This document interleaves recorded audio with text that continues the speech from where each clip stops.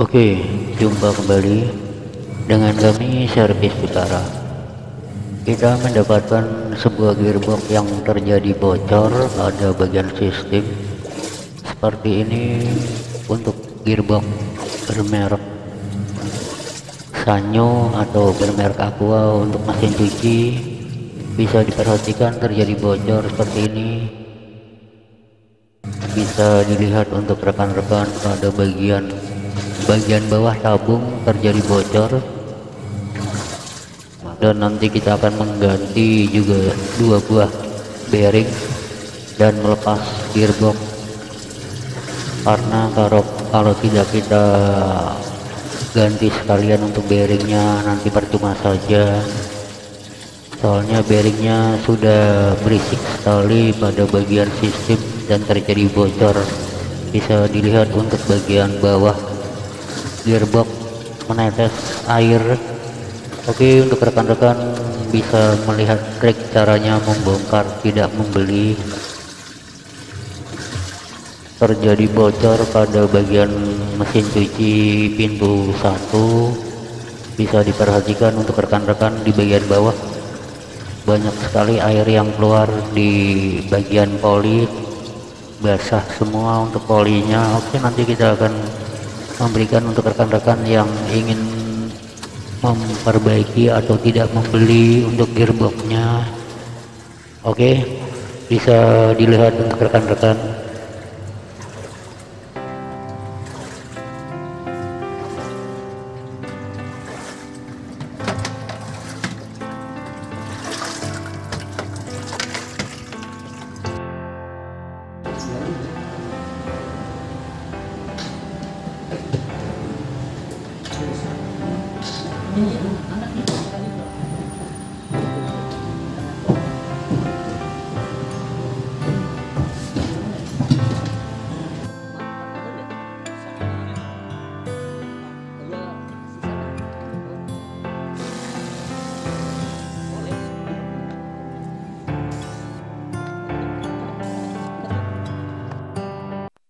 Oke, kita melepas sebuah baut, semua baut yang ada di bagian bawah. Untuk bagian sistem gearbox kita lepas semua, untuk dinamo semua kita lepas.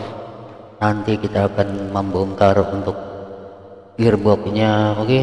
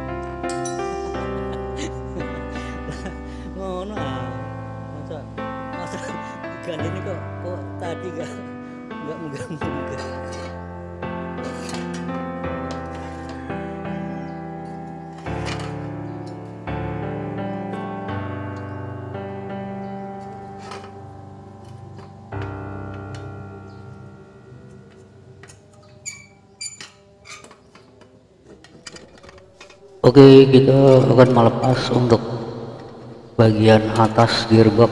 Seperti ini kita akan melepas untuk bearingnya berada di bagian posisi sistem.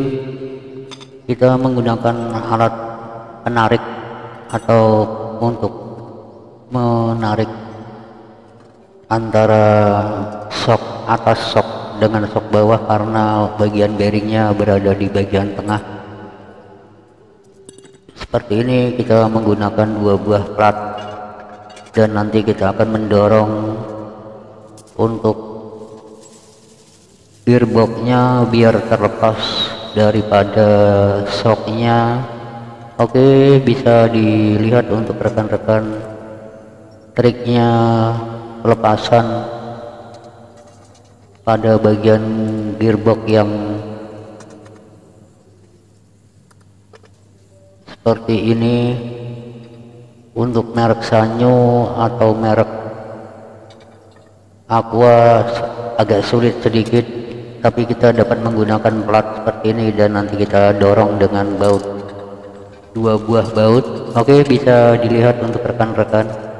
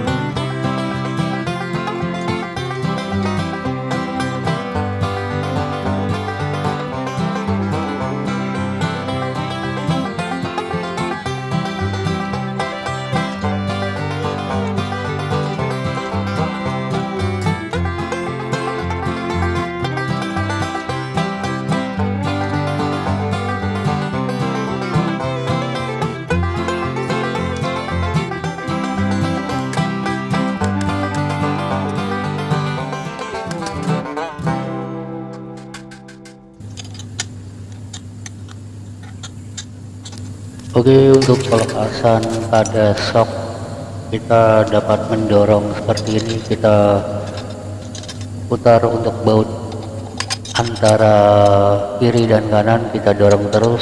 Nanti dia akan tersendirinya naik terlepas pada bagian shock. Shocknya lumayan kuat untuk karena kalau tidak kita dorong seperti ini tidak akan terlepas dan kita pukul seperti ini. Oke kita lanjutkan untuk videonya